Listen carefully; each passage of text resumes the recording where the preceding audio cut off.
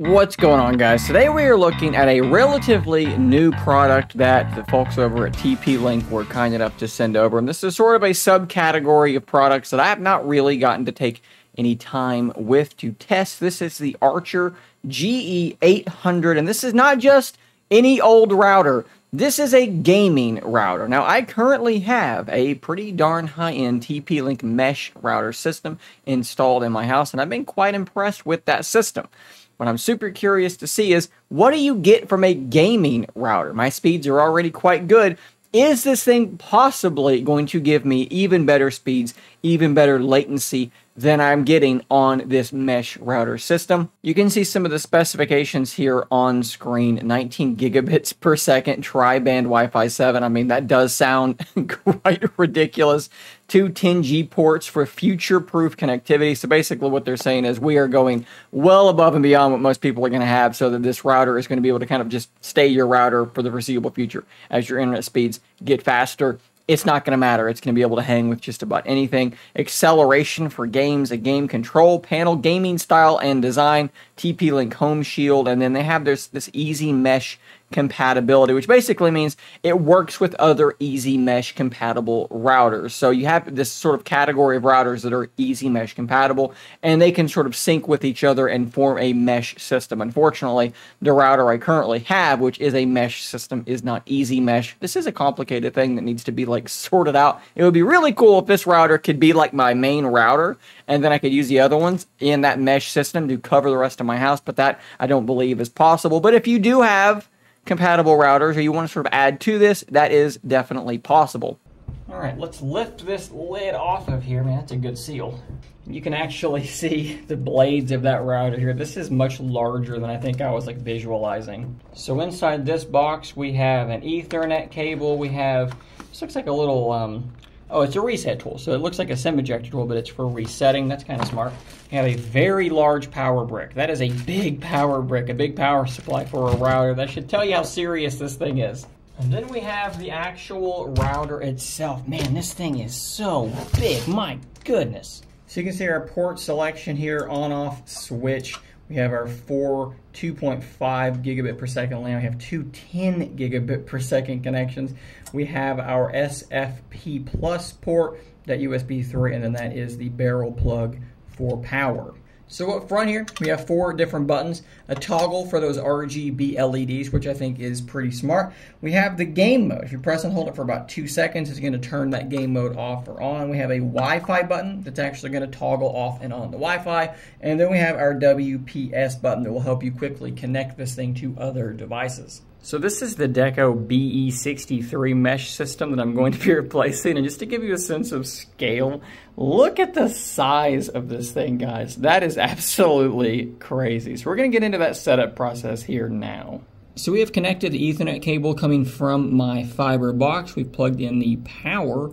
And now we should be able to jump over into the TP-Link application. I assume we will be using the same Deco application, but the QR code here in the quick setup, the quick start guide, is directing me towards this TP-Link Tether application. So we're going to install that and get started. Okay, so it says no device is found. We need to add a device. It is a gaming router, and it is, let's see which one of these. I guess it's that one there, the GE800. The names on these things are so strange because the box does explicitly say BE19000, but I guarantee that's what it is. And it's going to take you through the instructions here. Remove power off your modem, plug in the device, power up your modem, power up the router. The LEDs are on. We're going to continue. So it looks like on the bottom we're going to have a Wi-Fi information, an SSID that we can quickly join that network. Yes, indeed, right on the bottom of that router, we are now connected to that network. Let's continue. And of course, we're going to change that SSID and password here shortly. That is indeed the device that we are setting up. So now we can create a local password to manage the device. We are using the Ethernet port, so we're going to continue from there.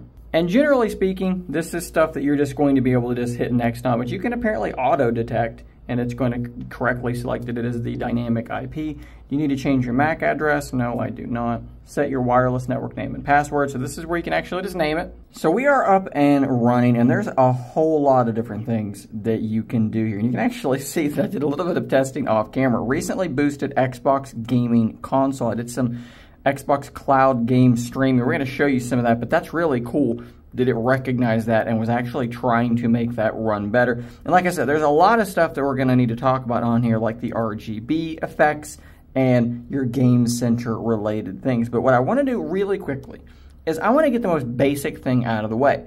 I'm going to do a speed test with my current router, switch to this thing, and see if it's actually faster.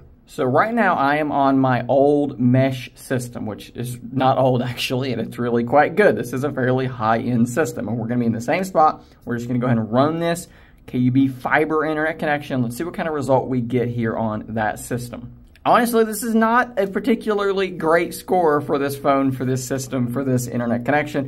277 down, 229 up. And you can see my scores for responsiveness down there below. But now what we need to do is we need to actually switch over to that gaming router, the new router. And we're going to run this test again and see what kind of score we get now. And hopefully it is significantly faster. And as you can see, we are already about doubling our speed. This is still not kind of what I was expecting. Sometimes this OnePlus Open phone, the Wi-Fi speeds are a little bit inconsistent. So we're going to do this test again on a laptop here very shortly. But still, it is significantly faster. Let's get our detailed results here and look at the ping, the responsiveness down here at the bottom. That is already a decent result, but I think we can do a bit better with a different device. So here's my Surface Laptop 7, old network, glossiest screen on planet Earth. You can see I'm getting about 600 up and 600 down, and you can see again my responsiveness scores there. We're going to switch over to the new gaming router, and we're going to run this test again.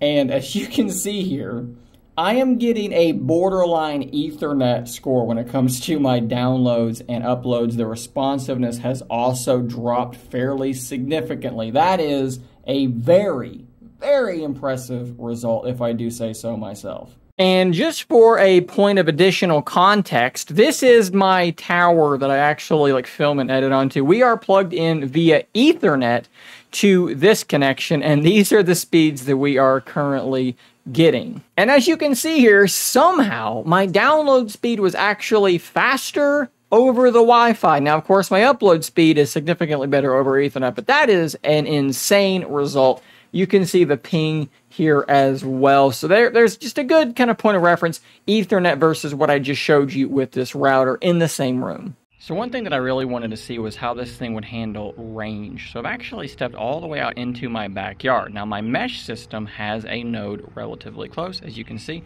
giving us a pretty decent score. How will the gaming router, the Archer router, handle this kind of distance?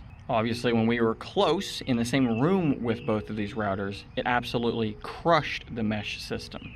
But I'm really curious to see how it's going to handle this kind of range, and that is exactly kind of what I was expecting.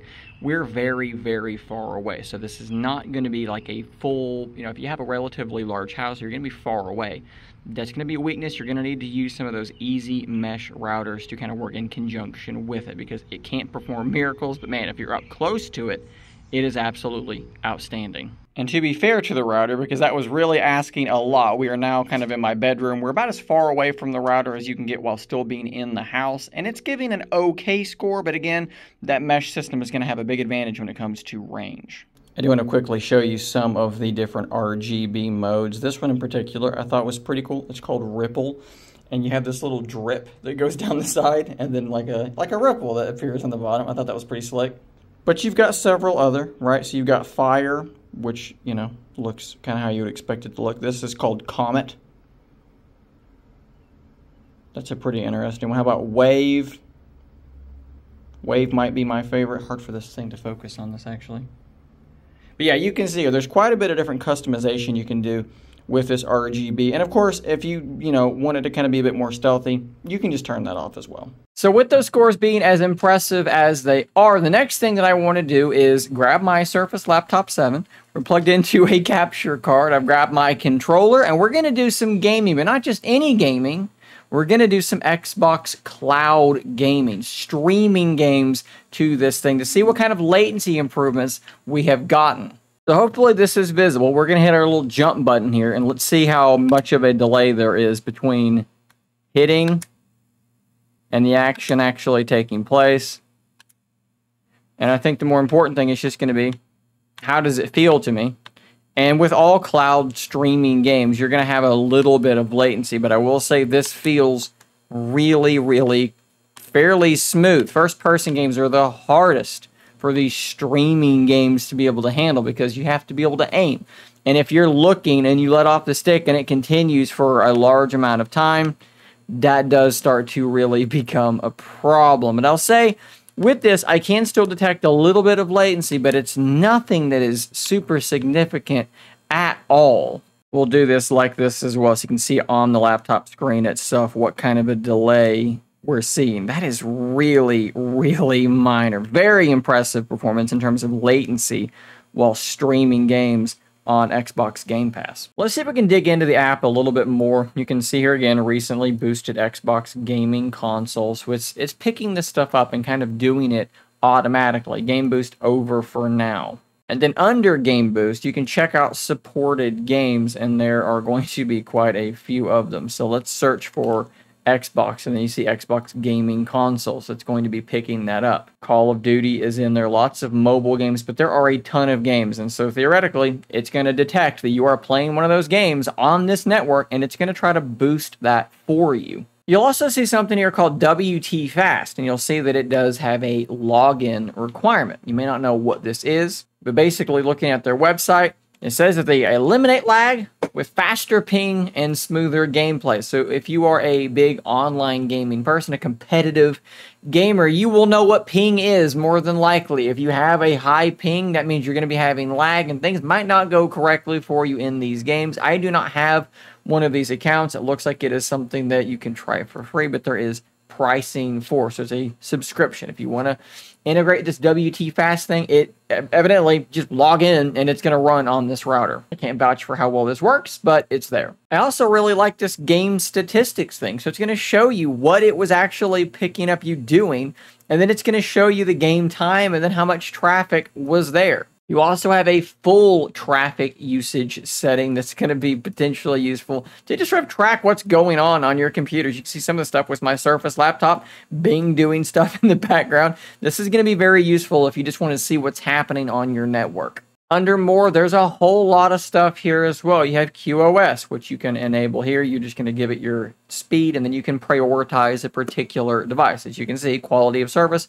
you can prioritize specific devices for a set period, so they're going to basically have more of your bandwidth. Guest networks, you can set up your easy mesh here. Network optimization is a cool one as well. This is actually going to scan automatically for you and determine what channels that this router should be using to get your best performance. I'd recommend doing this periodically to make sure you're getting your best possible speeds. Now, of course, we are talking about a very expensive router. This thing is $599. It is quite feature rich. I like the application a lot. It is a pretty darn well made app. A lot of things you can do in there, a lot of customization, a lot of settings. You can dive into isolation and VPNs and all that stuff right there in the application. Again, it's very, very well made. The build quality is very good.